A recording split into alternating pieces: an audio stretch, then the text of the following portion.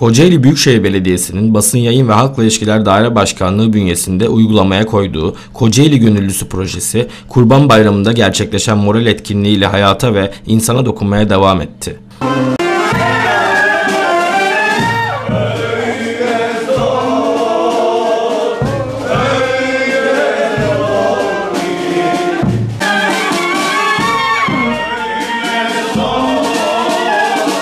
Kocaeli'de gönüllülük esasına dayalı çalışmalar yapan vatandaşları bir araya getiren Kocaeli Gönüllüsü projesi kapsamında Kocaeli Huzurevi ziyaret edildi.